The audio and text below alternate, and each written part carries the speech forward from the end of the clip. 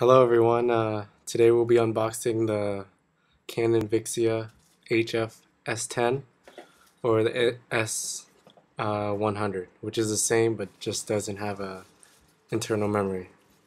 So first off here we have the manual and some CDs, a really thick manual right here the Vixia S10 pretty much the same manual for the S100 as well.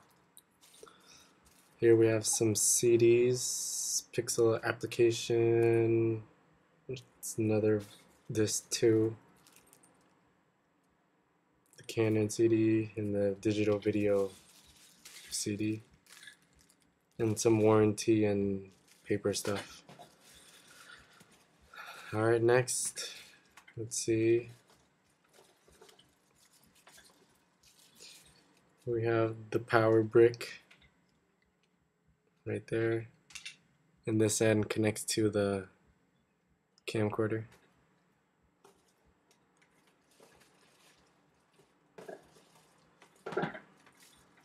Next we have the let's see the power cord itself which connects into the power brick like that. And plugs into the wall. There we go Next, what it's included with is a USB cable. Plugs into your computer and plugs into your camcorder. If you have a Mac, it should automatically just pop up. You don't need to install any of the CDs at all. It should be preloaded into all Macs, iMovie, Final Cut Express.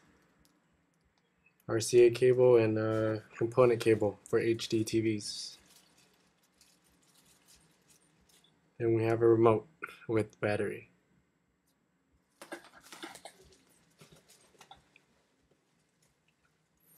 Next is the camcorder itself.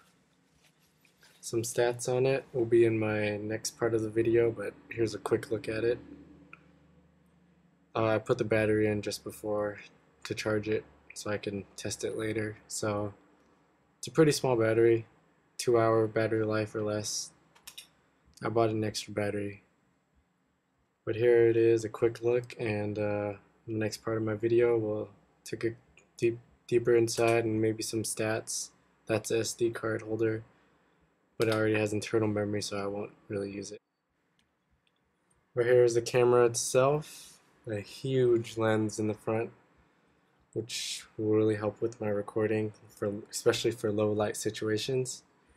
First off, just some little things. This is the S10, so internal flash drive, 32 gigs, or a SDHS or HC memory card. Okay, some things on the back. Just turn it on for you guys. While I go through this, it's a total pixels 8.59. The video is approximately 6.01 and compared to the other high models like the M31 and the HV40, those have 3 to 4 megapixels and they run around a $1,000, $900. So this I think was the, the best from Canon that offered the highest resolution. And this is the camera mode, has a pop-up flash when you push the camera button. There it is. The screen is very nice. It has like a anti glare or anti smudge filming on it. I put a UV lens on it just to protect it from dust and stuff. It doesn't come with a lid or anything. That's where you connect to your computer. And the little tabs I was just touching were the AV and the DC in. This lens doesn't come with it, but you can find it pretty cheap at any electronic store, camera store. That is the manual mode, custom mode.